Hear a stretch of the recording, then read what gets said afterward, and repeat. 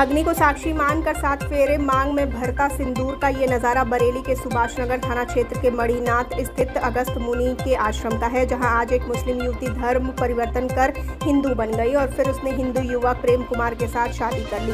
रुबीना खान और पुष्पा का कहना है कि उसका मायका रामपुर ज़िले में है। नौ साल पहले उसकी शादी उत्तराखंड के हल्द्वानी निवासी शोएब से हुई थी, जिसके बाद उसने तीन लड़कों को जन्म दिया, लेकिन उसका पति उस पर शक करता था, उसके साथ आए दिन मारपीट करता था। इस बीच उसकी मुलाकात प्रेम कुमार से हुई। प्रेम रुबीना के पति शोएब का दोस्त है इसीलिए उसका आए दिन उसके घर पर आना जाना होता रहता था। इसी बीच रुबीना को लगा कि प्रेम कुमार वो शख्स है जिसके साथ वो अपनी पूरी ज़िंदगी बिता सकती है।